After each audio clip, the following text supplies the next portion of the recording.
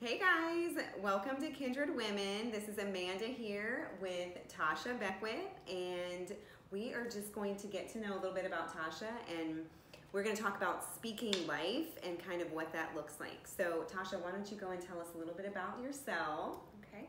Um, well, I am a mom of four, primarily stay at home. I have some um, little things outside of the house, but for the most part, um, I just pour myself into my kids, into my Yeah. husband, and um, into the ministry opportunities that God puts before me. Good, yeah, I love that. Yes, so speaking life, Mm-hmm. I think it's easy sometimes for us to not speak life. So what why don't you kind of talk a little bit about like what speaking life kind of is for you?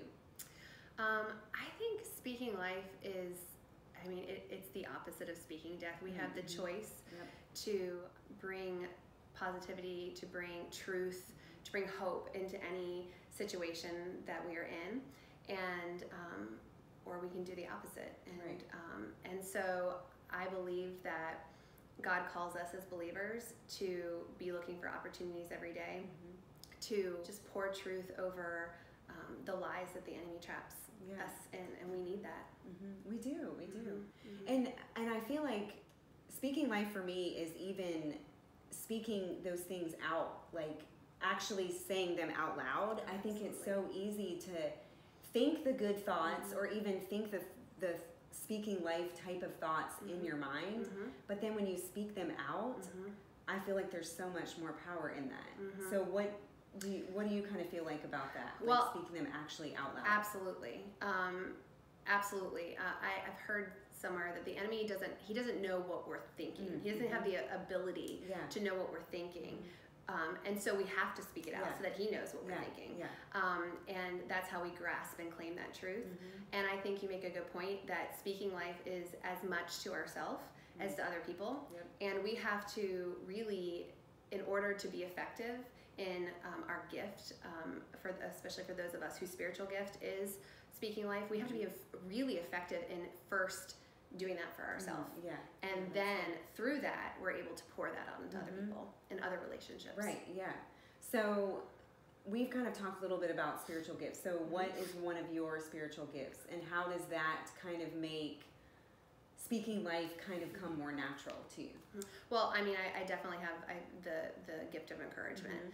Um, it's and I think that's why for me the enemy attacked it as a child. Why I Okay, why I first had to conquer Mhm. um, speaking truth over myself Yeah. when he would attack my mind and try to hold me captive there. I had to learn um, that to first take those thought cap- those thoughts captive and make them obedient to what the word says, Yeah. what Christ says, and um, and so yeah. So as I have walked and I've seen that that is actually my gift, Mhm. um, one of my gifts that um, I've been able to to really grow in that gift Yeah. and be more discerning Mhm. um, to the Holy Spirit's moving um, as to when I'm to to use it. Yeah, yeah. I think as women, we kind of know what it's like to be in relationships where they're not always speaking life, and it can be easy to even get pulled into that. So, how do you feel like you specifically speak life into the women around you, whether it's your daughters or friends or family? I mean, I think I think the that the Holy Spirit prompts us. Mm-hmm. Um, I think that, and there's a difference between just giving an encouraging word of, um, "You look really nice today." Right, That's yeah, not speaking yeah, life. yeah. Speaking life is speaking truth. Mm. And so um, I think that we just become we you, you become aware, and as you are in relationship with people, listening is a huge Mhm. component to being able to really speak life. Yeah. We have to humble ourselves first, and I mean honestly, if we don't first go to the source, as as that being one of my spiritual gifts, Mhm. one of the things that the Lord showed me was I I have to go to the so- I ha- I have to be rooted in the source.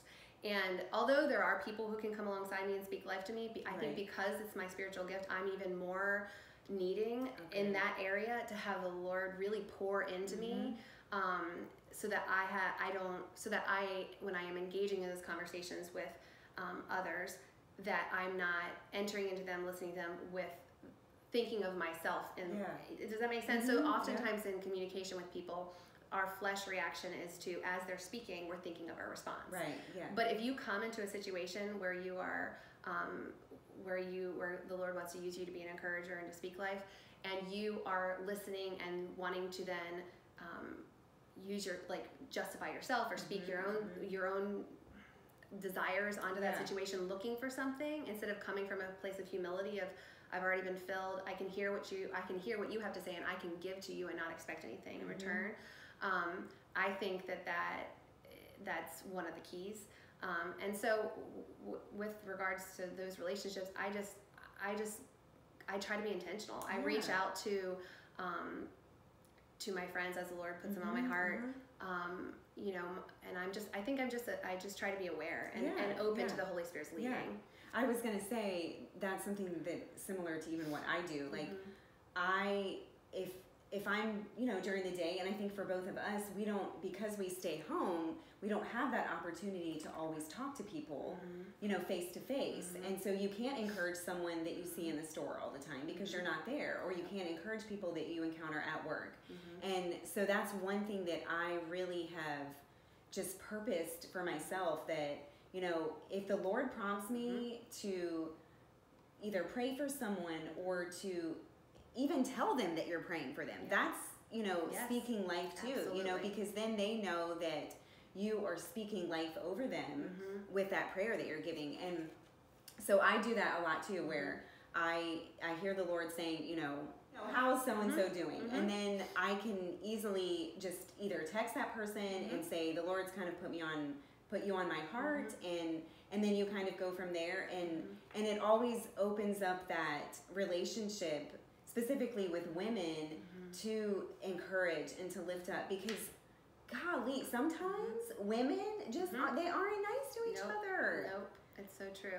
yeah And I, and I think it, it, you know, we, you stand out. mm-hmm as yeah and and people need to see that that Right. like I don't need to I and you know it doesn't need to be awkward either when you're in group settings and other women are gossiping we don't have to be the ones who are like hey guys don't Right. gossip yeah because yeah. all that's going to do is push people away and make them feel judged yeah yeah but you know we can remain quiet Uh-huh. we can find an opportunity to redirect the Right, conversation yeah. um, or we can speak life into that situation Mm-hmm. and, and say you know whatever it is like we can find an opportunity to speak life to and which will, will which will change the atmosphere of Mm-hmm. The conversation absolutely. without being awkward Yep. um, but i think also as we are as we learn to obey those promptings of the Mm-hmm. holy spirit um, that we become more acutely aware of um, of the power that the holy spirit has in us Mm-hmm. Yeah. and we become more refined in our gift Mhm. because I mean, I'm sure you've had the same thing where, um, I, I mean, the Lord might prompt me to reach out to somebody from my past that I'm not really close to Right. because I don't really know what's going on in their life yeah. because of life, Mhm. um, and maybe they've pushed me away, but um, because we're on two different roads. But I will tell you that, like, so often it's like they receive it, and, and Mhm. oftentimes it's like, oh, you know what, like, I needed that yeah today. yeah And and so when you realize that it's not just like, hey, they just popped into my mind, but Exactly. it's leading yeah then it, you become more um, open mm-hmm. and therefore like i mean it just gives the holy spirit has so much more ability then to use you yeah absolutely and and when you kind of brought up gossiping Mhm. Maybe talk about like some of the dangers in that. Well um, there's a verse that i wanted to share if i can uh, not drop my phone. Um, proverbs 15 4 says "A soothing tongue is a tree of life but a perverse tongue crushes the spirit. And i think that sums up both sides speaking life and speaking Yeah. death when sp- speaking death would be gossip. Mhm. um, you know, we have people are broken and people are hurting, and just like there's such a power in being someone who brings truth and, and light and hope um, to people, when we when we bring hurt Mhm. and and um, fear and um, and we pull people down, we we crush them, yeah yeah and that's what gossip is. Yeah. And absolutely. we know we might think that it's you know it's lighthearted and it's funny and it's Mhm. what women do, but it's detrimental. It Right. ruins friendships. It ruins your ability to speak life into mhm. people. If, if they if they see you gossiping, then then they're not going to trust you Right, yeah. to come to you to, to and which gives the Lord an opportunity to use you as a vessel to Yeah. speak to them and lift them up because they might think that you're probably going to turn around and share their information. Absolutely, yeah. So it's it's very detrimental and Mhm. it and it hurts people. It breaks relationships and and um, and it's just sad. It's It sad that people think. I just saw a gif um, about it was like a clip from something and it was saying let's you know let's gossip and um, you know to and it was like shining a light on it as if it was fun Mm. and and like that's what girls do when they get Right, together is they just gossip and you don't leave a gossiping situation feeling good about Yep, yourself mhm. but you leave a situation where you're with other women and you are encouraging each Yeah. other and sharing and Mhm. transparency with each other and, and opening up the floor for you know for us to lift each other Yeah, up and and encourage each other on that you leave feeling lighthearted Mhm. and you feel hope Yeah, yeah, absolutely. Yeah, and man, I'm sure you have stories of growing up and Mhm. just the gossip, hmm you know, spiral Yeah. basically is Yeah. what it is. And I remember, I mean, my my sister and I had two very close friends, and the four of us would, and it wasn't like we were doing. It's it's never intentional. Yeah. hmm I feel like it's not like you don't come to someone's house Mhm. being like, well, maybe you do. I don't know, but you don't come to someone's house and be like, hey, Tasha, you know, let's come over and we'll talk about so and so. Like, it's never something, it's Mhm. just the way that the enemy likes to Mhm. weasel in. Mhm. And then you start having these feelings of, about someone and maybe even feelings that you didn't even have that now I'm putting on you Mhm. and then it just continues the spiral and i know in high school i had a very big issue with gossiping and that's why i feel like honestly the lord really wanted me to talk about this not necessarily because of my history but just Mhm. well some in some ways yeah Yeah. because that's why we're doing this but i know that we do a lot of times just say oh it's just what women do. Mhm. and like you said it ruins relationships. And that the four of us our little relationship basically kind of just drifted away. And then i know sometimes that's just what happens you know you're in different seasons and stuff. But it wasn't in some ways it wasn't because we were doing great things and that was why we were separating. It was more like we were talking about each other we were hurting Mhm, each other mhm. and and it just wasn't a good place. But you know what? Since then we have all come back together and we are really close and we don't talk about each other to each other Mhm. because of that that you want to give life you want to bring life to the relationship and you want to be kind. Like i feel like sometimes even when you have been in a position of where you know what it's like to either be on the other side of the gossip Mhm. knowing that people are talking about you now it almost makes you not want to be a part of that Mhm. and i like what you said about trying to steer the conversation the other Mhm. way because i have had to do that Mhm. and it's even that is still awkward you Yeah. know where you're like okay um i guess i'm just gonna sit here or you know and sometimes it's immediately like okay let's just let's just change the subject you know and Mhm. it can be like a lighthearted and then they get it and and Mhm. feelings aren't hurt and Mhm. stuff but it is difficult to kind of steer that conversation sometimes there's been times where i've been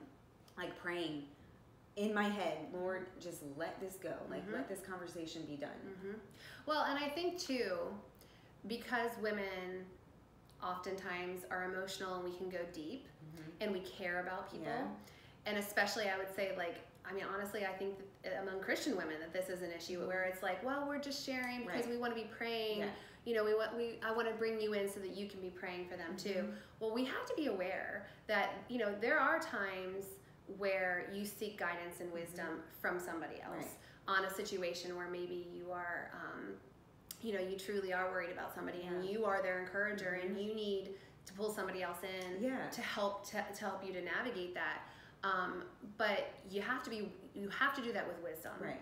And because it's very very easy to step into Mhm, that and um, and it is it's detrimental. I, I struggled with it too as a child Yeah. you know and it it ruined relationships. Mhm, and because there's no you will ruin the ability to have transparency in a relationship when when you are perceived as a gossip. Mhm. people will not be Yeah. transparent Yeah. with you. And you cannot have the kind of intimate relationships that god designed us to have if there's no transparency yeah i agree So we've talked a little bit about relationships. What about like when we talked about in the beginning with speaking life over yourself? Yeah. What does that kind of look like on a daily basis, even? Yeah, it's, it is a daily. It's a Yeah, daily. yeah. well, you know, the battle is in the mind, Mhm. um, and um, and so we have to when the when the enemy comes at us every single day with with whatever it is that he attacks us with. It's all it's different for each of Mhm. us. We have to take that thought captive. We have to recognize it as a lie, as Mhm. as a lie, and we need to speak that truth in life and to ourselves. Mhm. And so I can recognize that um, that the thought is that's not a healthy thought. That's not a thought. That's not rooted in truth. And really, that's what Jesus did when he was in when he was in the wilderness for forty days and forty nights. He was speaking life. Yeah. He yeah. was battling the enemy by speaking life, Mhm. by saying, That's a lie, Yeah. here's the truth. Mhm. And that's what we have to do to Yeah. ourselves. Yeah. And that's what we do to others. When we are speaking life to them, we're saying, Listen, that's a lie, Mhm. here's the truth. Yep, yep. My mom, it used to bother me, and now as I've gotten older, I'm like, yes. But she, anytime I would be complaining or frustrated about something, she would look at me and she would say, What is the truth? Mm, that's good. And what is the truth? You know, Mhm. what is the truth about who you are or the situation? Yeah. If you choose to find the truth in whatever you're going through, whether it's health or a relationship, Mm-hmm. you will be able to speak life. And I loved when you said the part about when you were talking about speaking it out loud. I've also heard the same thing about that, you know, the enemy can't really hear your thoughts. And Mhm. so you have to speak it out for him to hear and actually say it out of your mouth. And the power that comes with that, it just it feels so much better. And then when those words are spoken, y- you truly are like lifted. Well, we're taking back authority. Mm-hmm. So the enemy has no authority. That's right. He has power, but he has no Yep. authority except for what we give him. Yeah. And so when we speak that truth out loud, Mhm. It's taking back what's ours. Yeah, he doesn't have the authority to make us feel like we can't do things Mhm. or that we're stuck Yeah. or that things are never going to change Yeah. or you know like he doesn't have that authority. Mhm. God is sovereign. It's in he's in control. And so it's it's remembering that we have a Father in heaven who loves us and who fights for us and who sees us and is in it with us and is shouldering us through all of life's difficulties and that we can trust in him and go to him and that the enemy has no power over us Yeah, absolutely. because he rendered him powerless in the cross. Yeah. Preach. Mm. One thing I wanted to share was I was looking today back at some notes from a conference that I went to, and there was a pastor, Morgan Irwin is, is his name, and he was talking about identity. And I know we're not necessarily talking about identity, but speaking life does fall into line with Absolutely. identity. Mhm. And one of the things that he said that just really kind of has followed me, you know, I've, I haven't been in California for like a couple of weeks, but it really followed me was one thing that he was saying is we have a tendency to say, I am hungry, I am thirsty. And he was like, No, you're not. I have hunger and I have thirst Mhm. and and he was saying a lot of times we put so much emphasis on I am. Mhm. And he said the only I am that you need to be saying is I am a child of God. Yes. And I am fearfully and wonderfully made. Mhm. And I am healed. And Mhm. you know, the list goes on and it it really just kind of has resonated with me in that speaking life and that self-talk and Mhm. listening to those thoughts that you're saying and saying those instead of you know even even some of the physical things like i am fat or i am ugly or Mhm. you know it goes even beyond just being i'm hungry or thirsty you know Yeah. and and if we just switch that thought of i am this Mhm. you know even for you whatever that word is for you i am blank Mm-hmm. write that down and change that to I am a child of God, or I am beautiful, I am lovely, I am blessed, I am favored. And it just it mm-hmm. changes the thought, it changes the perspective. You're you're truly speaking out the truth that we've mm-hmm. talked about Yep. from the word and and that's where even the healing can come in. Yep. So Absolutely. yeah i really i just have i've like been holding on to that and i really feel like that is something that we truly need to start doing where it's not I am this, but I am, you know, changing that to whatever God is saying about you. Mhm. And even sometimes that means, you know, listening to what he's saying. So Mhm. staying quiet. And if if you are feeling something, I am, you know, unlovable. Well, listen for what he has to say about Mhm. that. Mhm. And he will speak his truth. And then you can say, no, that's the enemy's lie, but I am love. Mhm. And often those feelings, if we really sit with them and ask the Lord to reveal to us why we are feeling those feelings, it's because there's a need that we need to run to Jesus to be filled. Yeah, yeah. And that's the thing, like with when when I when we're encouraging people and, and we're speaking life to them, our we're speaking truth to them and it's for a moment and like we say it, but then really like it has to enter their hearts. They at the end of the day, they can't keep, coming back to me or to you Yeah. for for encouraging words. They have to run to the Father. yeah. And so that's that's when when people can when we learn that we have to that that's the source. Mhm. That's who sustains us and we don't we don't need necessarily people to do it. It's great Right. when people come Yeah, alongside yeah, us and yeah. physically do it, but he is the one who says those Yeah. things about us. He is the one who carries us through. Mhm. And when we can really go to him and let him do that for us, everything starts to change. Yeah, absolutely. So, you know, as we kind of wrap up, what's like one thing that you could share for people to kind of really take away and make this like that day where they start speaking life? I would just challenge them, I think, to um, to think about the way that they are speaking, Mm-hmm. like, and really think about like, are your words speaking life, Yeah. or are your words speaking death? Mm-hmm. And then really look at those relationships or those places where maybe you're not speaking life, Yeah. and I just challenge you to to to bring life to that relationship, um, even when you don't feel like it. You know, Mhm. you know, we all go through hard times, and and just because.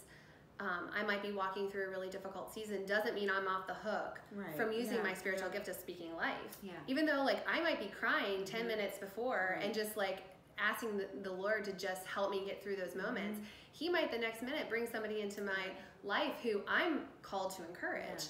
And so when I when I choose to walk out Mhm. the gift that he's given me and, and and when you choose to speak life into relationships even when you don't feel like yeah, it Yeah, um, God has a God has a way of just working and blessing that. And so, if you have a relationship where um, maybe it's challenging and maybe you have been speaking death, try speaking life, even if it's just one word. yeah. You know, and even if you feel like you can't open your mouth to do it, just ask the Lord to give you the strength to speak through you. Yeah.